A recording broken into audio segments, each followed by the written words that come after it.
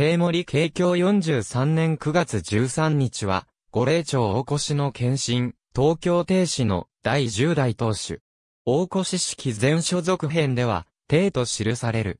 慶教28年に、父の名刀王帝英が死去すると、後を継いで朝廷から靖国王に封じられた。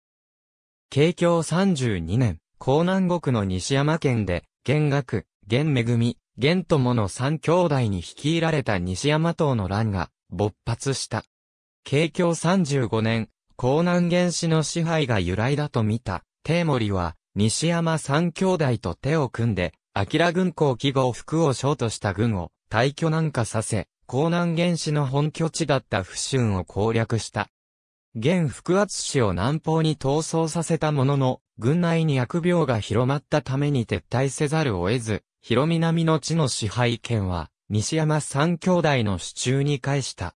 晩年は、愛称の当主、恵みの残言を信じて、生死の亭主を廃し、寵愛していた諸子の帝を生死に炸裂した。慶教43年に死去し、帝が後を継いだ。聖祖の病号を追贈され、生前に指定していた森用と送りなされた。ありがとうございます。